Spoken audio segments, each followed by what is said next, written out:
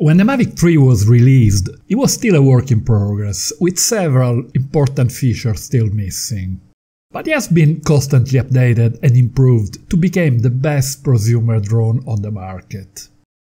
The story of the Mavic 3 Classic is different. It was born fully features with all the bells and whistles from day one.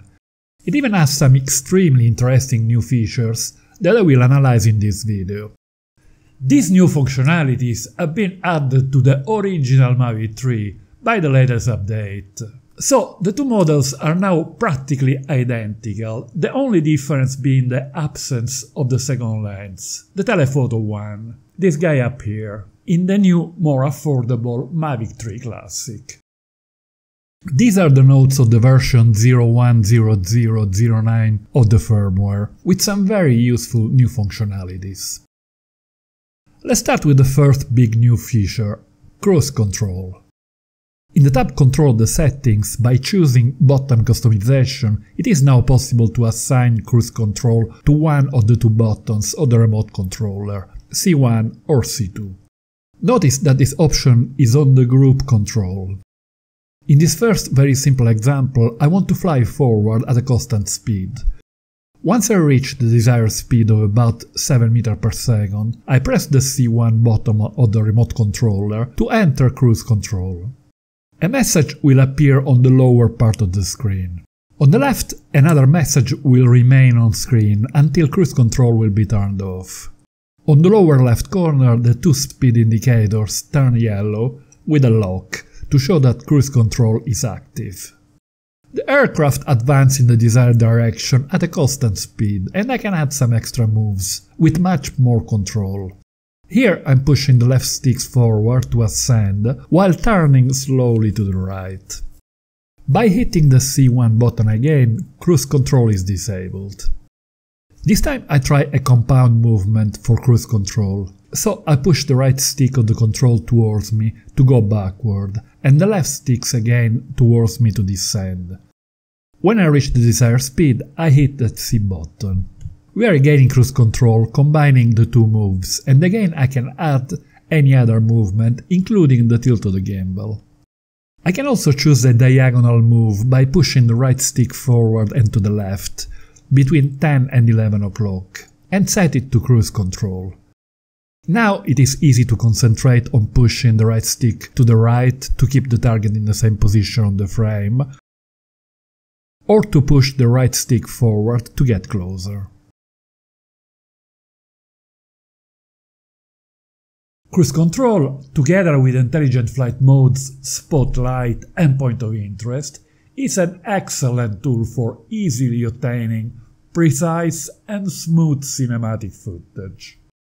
In the control tab of the settings, we find the option Gain and Expo Tuning. Here we can adjust all sorts of parameters to control the behavior of the two sticks of the remote control in the three different speed modes. At the top we have three tabs to choose one of the three modes, Cine, Normal and Sport. The first parameter is max horizontal speed, which in Cine mode goes from an extremely slow value of 1 meters per second to 15, a huge range. It is also possible to set the max ascent and max descent speed independently for extremely precise move. As you can see, at minimum speed the aircraft is extremely slow. Some may ask why such a slow speed. Well, a very slow speed can be very useful to perform some very precise move when filming a subject at a close distance. For real estate, wildlife, or when filming people, maybe dancers, sports, musicians on stage, or people walking. Some previous DJI models had the tripod mode, where the movements were much slower compared to the other modes. A lot of users miss that mode, but now it is possible to have something like a tripod mode that we can customize in any possible way. Excellent. It is something I was eagerly waiting for, and I find this extremely useful. I would leave the mode normal and sport at their normal maximum value and adjust the speed value only in cine mode, according to the different situations. The next two options, max angular velocity and yaw smoothness, are the usual ones to control how fast the aircraft can rotate around its axis and how quickly the movement stops when we let go the stick. At maximum velocity the drone rotates extremely fast, absolutely impossible to have any control. While with a minimum value of 10, the rotation is very smooth and easy to combine with other moves. I like to set this value very close to the minimum. The next slider, yaw smoothness, controls the behavior of the aircraft when the left stick of the control is released after a rotation. At the value of 0, the drone stops immediately when we let go the stick in a very abrupt way, something to avoid. At the maximum value, it continues to turn laterally before coming very smoothly to a halt. There is a bit too much lag, so I prefer to set the value somewhere above the midpoint, at around 65.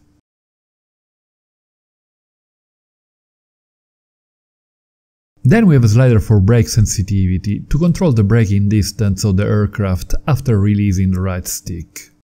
This control was available in previous DJI models, using the Go4 app.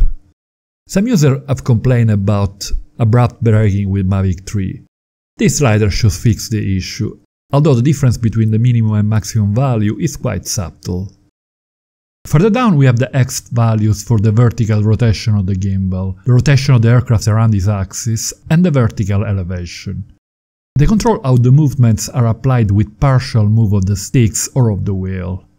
In the Mini 3 Pro, the expo values are available only in normal and sport mode, while with the Mavic 3 and 3 Classic we can also use them with Cine mode, which makes a lot of sense. Let's start with pitch roll, the vertical movement of the gimbal using the left wheel of the remote control. If we choose the minimum value of 0.1, with a small turn of the wheel at about a quarter of the full extension, the tilt of the gimbal will be extremely slow. And when we pass the midpoint, the movement will be much faster. If we set it to the maximum value, the move will be already relatively fast, even with a small excursion. And with a larger displacement of the wheel, the increase in speed will be less pronounced than before. The other two sliders for yaw and up-down work in a similar way. I prefer value just below the midpoint, but I suggest experimenting with different values until you feel comfortable with the response of the aircraft to the controls. As an example, here I've set the yaw at 39, slightly below the midpoint, and I can get a nice slow movement by pushing the stick less than halfway, and then a smooth increase of rotation speed going all the way. I'm happy with it. Then we have the two sliders for speed and smoothness of the gimbal. They work in a similar way as the one for the yaw. Let's try the minimum speed of 1. It is extremely slow, too slow for our purposes. At the maximum value of 100, it is very fast, unusable. So there is a huge latitude between the values, which is good, as it means plenty of choice. I find that the value around 20 works very well. Regarding smoothness, I like to set a value just below the maximum for a gradual end of the move. The flagship models of DJI Prosumer line now have an array of functionalities to control the movement. Cruise control and gain and expo tuning are two excellent tools for professional cinematic footage. Another major new feature of this update is the new night mode. It would take too long to analyze it in here. I will make a specific video about it in just a few days. I will add a link here as soon as it will be ready. Don't forget to hit the like button if you find this video interesting. Thank you.